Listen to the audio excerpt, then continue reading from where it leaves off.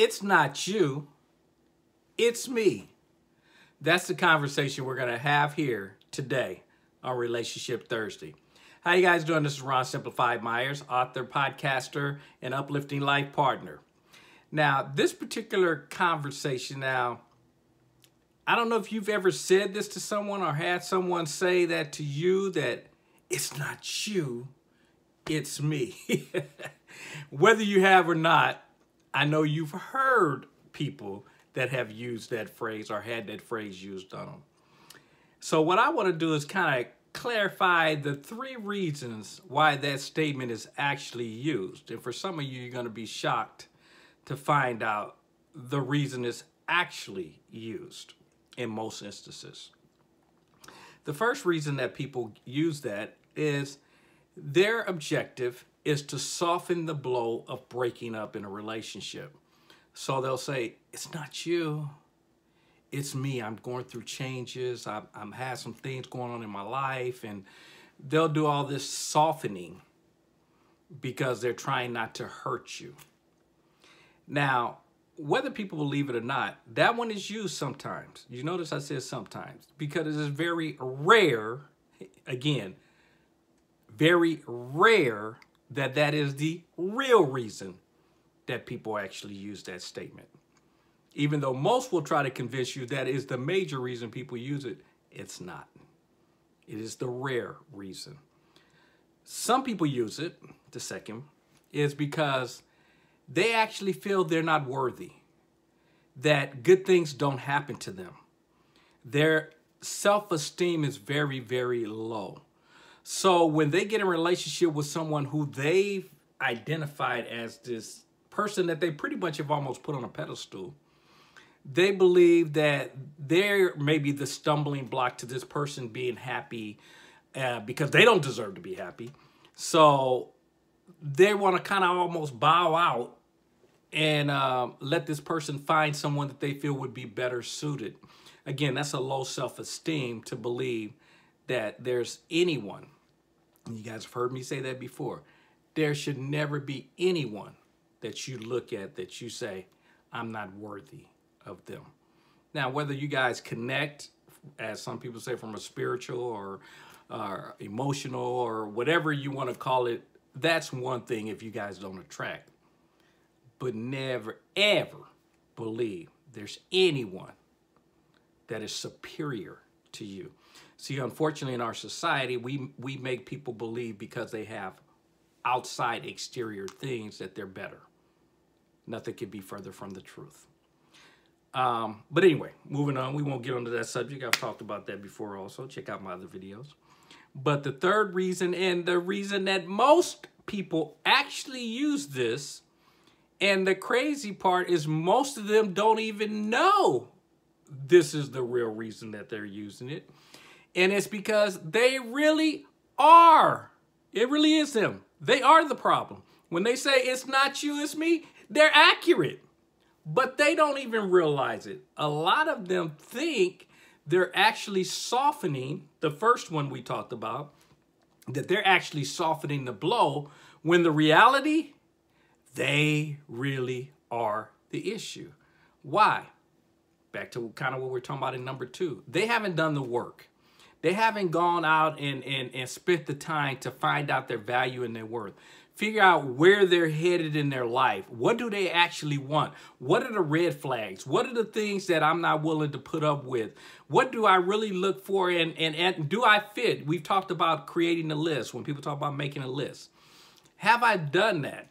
And do I qualify for the list that I created? See, because if I've done all the work, think about it.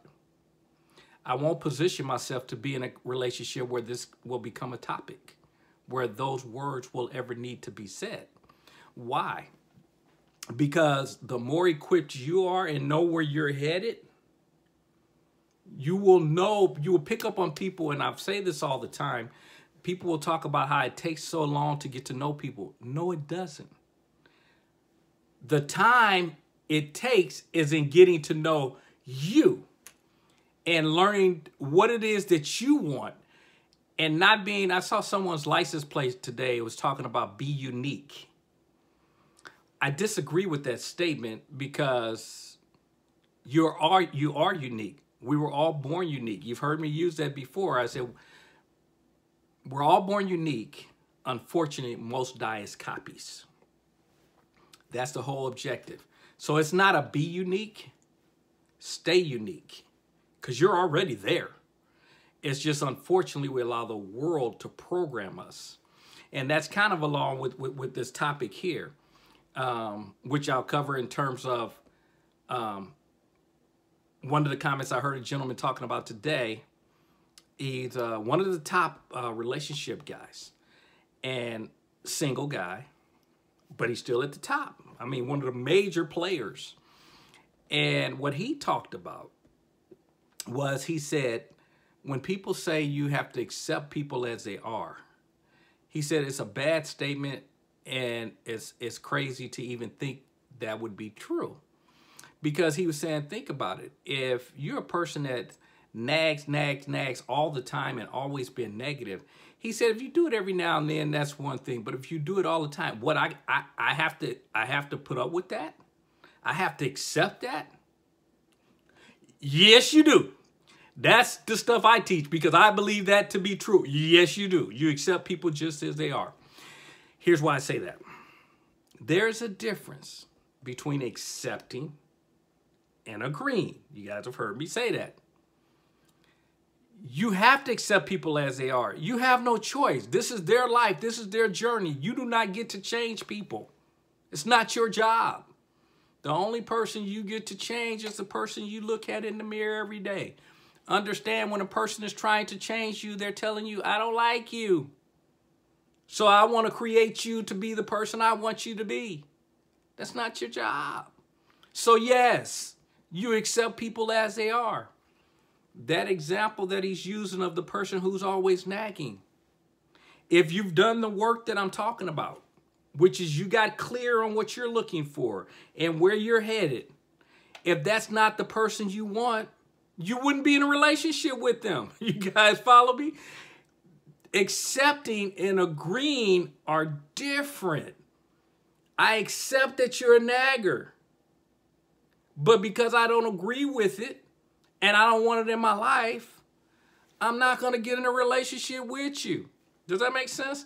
That's why for me, that's why I said you have to take spend the time, get clear on what you want what you're looking for. And relationships, getting into relationships, it doesn't take that long in terms of figuring out are you headed in the same direction. Now, I'm not saying um, don't give people a chance because people change. They do. They change because life happens. Circumstances, you know, things come up in your in your life and and your perspectives that you had yesterday, they get changed today. Uh, yesterday you were eating all the junk foods and went to the doctor and they said if you don't cut this out this is where you're headed and you're going to end up you got diabetes or you got whatever illness they come up with. And if you don't cut back on this stuff this is what's going to happen. And all of a sudden you go boom you stop.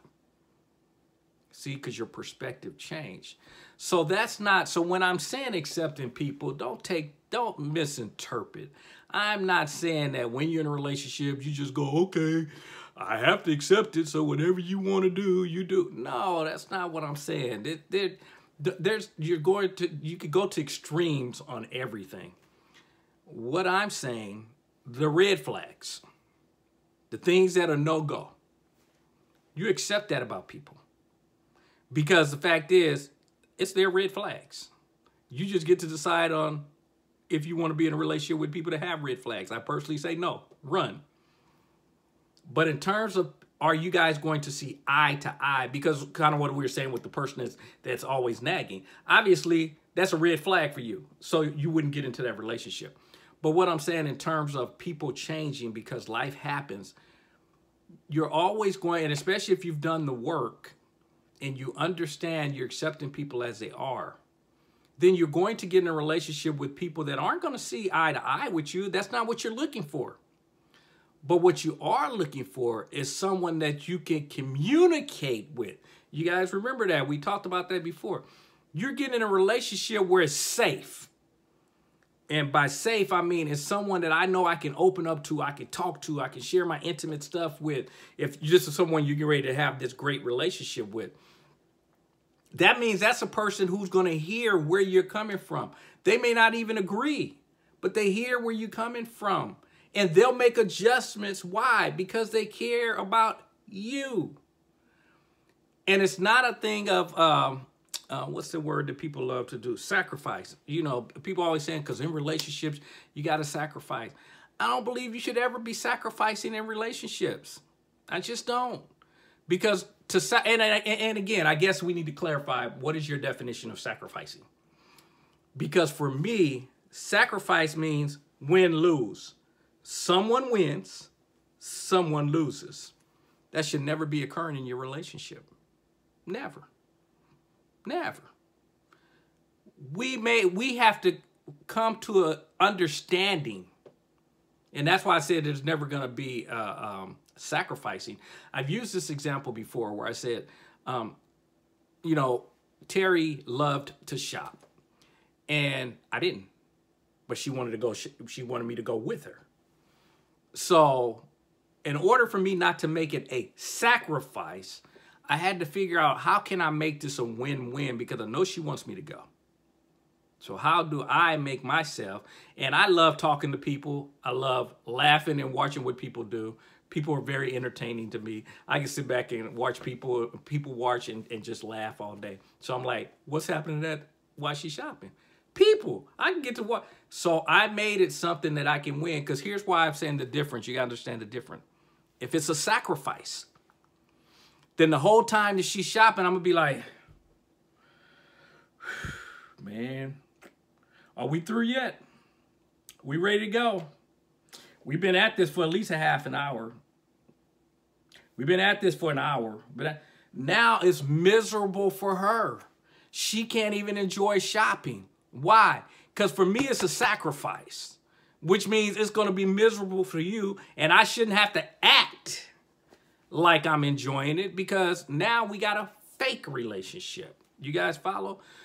what it does, it becomes a true compromising and it becomes how do I rewrite the story where it's a win-win? And in that particular example, I said, how can I rewrite this so that she gets what she wants and I can do what I want and we're both excited? You guys follow? That's what relationships are about. I may not, now there's certain things, and folks, don't get me wrong, there's certain things that you're going to come across that you really, really just don't want to do. Like your partner may be into opera, for example, and you really just don't. Now, you can sit there and try to figure out a way to make it work. And, and just kind of like I said, where you say, I'm going to go there and, and, and look at the different tones, how high their voices go, how low, or watch their wardrobes, or, you know, whatever. You can figure out something if you want to. At the same time, if you have a partner, and again, that's why I said it's a safe place and we're working, they're not going to ask you to do that. You guys follow? There's just things that if you really, truly are against, your partner's not going to push that on you. So it's not a sacrifice because they're not going to put you in that environment. If they know it's something you really, truly don't want to do, and the same thing with them. If you know it's something they really, truly just don't want to do, why would I push them on them? If it's not affecting your beliefs, your values, everything else we can work out. Just tell her take one of her girlfriends to go watch the uh, the opera if you're not into it. Now I know you guys have heard me say men and women can be friends, and, and I and I still believe that. But I'm not going at the same time. For me personally, I'm not going to let a man date my wife. You guys follow? There's a difference. Like I used the example. When Terry used to work, some of the guys, they she would go to lunch with them. Cool. That's lunch. They at work. Okay, no problem. I'm not going to listen to the conversation of me and John are going out to dinner. What you going out with dinner for John? That's why you got a husband. If you want to go out to dinner, I go out to dinner with you. You guys follow? And that's just for me. Now, there's there's relationships where people don't have a problem with that, and I'm not saying good, bad, right, or wrong. Just know who you are. That's why I said be true. Know thyself. That's what you need to do. But anyway, back to our conversation here. It's not it's not you. It's me. And then we're talking about the second part of that. And the reason I was on this subject about him um, saying, uh, what, what, what was I just talking about? Where he was basically talking about, oh, accepting people, that you have to accept people as they are. Because if you really get to that point where you understand that I accept people as they are, and this is how this ties into the whole topic of what we're talking about, is because that's how we get to that conversation. Is because if you don't accept people as they are, then eventually you get to that point where you go, I had enough. I'm done. And then we get to that conversation where it's not you, it's me as either a bailout or you try not to break someone's heart or whatever the case may be. But you guys follow. So that conversation, that's why I touched on that, is because that leads, if you don't get to the understanding where there's a difference between accepting and agreeing, and I accept you as you are, if we don't get to that, eventually we will get to the conversation of this is how we're, how do we break up? And that is one of the, the, the statements that is used most frequently by people in the process of trying to break off a relationship. So I just wanted to cover that topic. Again, be, be careful of the people that you're listening to. That's why I wanted to share this guy. And again, I'm not not because there's a lot of things that this gentleman shares that I'm in total agreement with.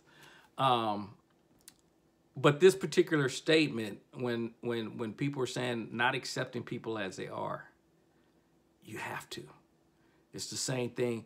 Um, again, I, I, I, shared this before. A gentleman was like, "What you're telling me? There's people that's out here that's abusing uh, women and and out here abusing kids, and I have to accept that." I said, "You ain't have to accept nothing, but it ain't gonna stop them from doing it. They gonna still continue to do it whether you accept it or not. Accepting again doesn't mean agree." What you're telling me and he was trying he wanted to argue the point i said no what you're saying is you don't agree with what's going on Here's the difference. You not accepting is why you're upset. You're not accepting is why you're frustrated. And you're mad at me because I'm not in agreement with you. Because you think that I'm saying you should accept the fact that they do this. That's not. I'm saying accept the fact that it is done. People do that. Yes, you have to accept it's real. I didn't say agree with it. And when you distinguish the difference, because acceptance sets me free to say, this is real. It does happen. Because I don't agree with it, now, how do we resolve it? What steps can we use to prevent it? You guys follow me? Because when he's not in acceptance, he was instantly angry, frustrated, mad. You're, the, you're not going to come up with the best solutions in that state of mind. That's why I'm saying accept it. It's real. It happens whether we agree with it or not. Now that we've come to accept the fact that it's real, what can we do to address the thing that we don't agree with? So, but anyway, get in your relationships, uh, spend the time, get to, get to, uh, was, I get to? I was really talking about this second subject that we're on where he's saying, uh, accepting people as they are. Um, have the safe place and that's really what I was getting to. Have the safe place where your partner can open up and talk to you, share with you. And again, I've shared this before, ladies. Don't tell your partner that that's what you're looking for. You're looking for an open relationship. You're looking for a guy that's going to share everything with you. And then the moment he does, you call him weak. Because um, I was, oh, what was that I was watching? It was, um, um, was it, oh, the, the round, the red table, red table talk. Uh, with uh, Jada Pinkett, you know, um, her and her mom and her daughter, and they had uh, the the rapper comment on there, and he was basically talking about how he had to go get help, um, and here's a guy that you know has the image of the real man as everybody talks about but you could tell as he was telling his story if you haven't saw that episode watch it you could see that he was ready to choke up a few times as they were talking. Why? Because he's a human being. And we gotta get we gotta quit telling guys the myth that you're macho and you can withstand. Because on that show, she had the, the football player, the guy, same thing, who who tried to commit suicide. Why? Because same thing, he played football and he's supposed to be a macho man.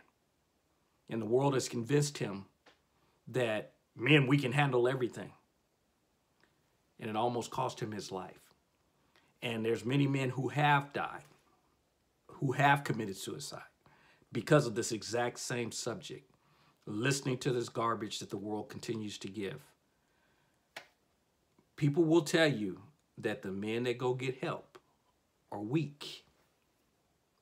I believe just the opposite. When you're brave enough to allow the tears to flow, when you're brave enough to know that you need help and you go get help, that's real strength because you know it's not what the world expects, it's not what acceptable to the world, or we should say, and for most people, it's not even acceptable, but it's not in agreement with people also. But you do it anyway. Why? Because I'm not caring about what the world thinks. I'm doing what's best for me to live the life that's going to give me to the journey that I say I want. Because, folks, the world will mess you up. And that's the whole thing of everything that I keep sharing on Self Love Monday and here in Relationship. Folks, this is about taking control of your life, doing what's best for you and your journey, and quit letting the world dictate it for you because they don't know evidenced by all the challenges we keep having in relationships. The challenges of just like on that show where, you know, she had people in there that wanted to commit suicide, all because they're letting the world program them. Folks, quit doing that. So as you guys know, and I know I got off on a different tangent there, but that was just something that, that all of a sudden hit and it was on my heart and it's something that I felt I needed to share. We we got to get strong and, and, and guys, and I'm talking to the men here, don't let the world make you think, believe that you're weak if you need help. Go get it. And tell them they can take a flying leap if they don't like it. Um, this is about, and I'm, and I'm telling you that from the heart. Because folks, as I've said before, if tears want to come in a situation I'm in, they'll flow. You can call me whatever the heck you want to.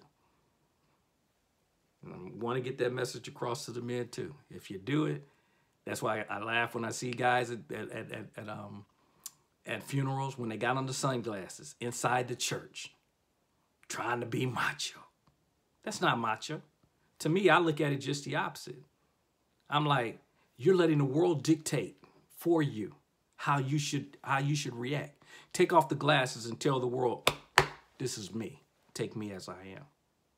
They don't like it, that's their problem. And as you guys know, it ain't right, it ain't wrong. It is my opinion. Now, for those of you that we talk on um, Self Love Monday. I look forward to talking to you next Monday. For those on Relationship Thursday, we'll talk to you again on next Thursday. Uh, please send me again some of the topics you want to talk about. And um, and run over to ronsimplifiedmyers.online. Again, ronsimplifiedmyers.online. Um, you'll see all the different things that I have going on. And, and definitely let me know the things that I've said, how it's affected you, how it hasn't affected you, how... Uh, things you agree with, things you don't agree with, things you wish I'd talk on. I mean, all of all of its value because I, like I've said before, no one has all the answers. I'm sharing my perspectives and they ain't right or wrong. They're my opinions. So again, I look forward to talking to you guys soon. And remember, if you're not having fun, you should be doing something else. I'll talk to you later. Take care. Bye-bye.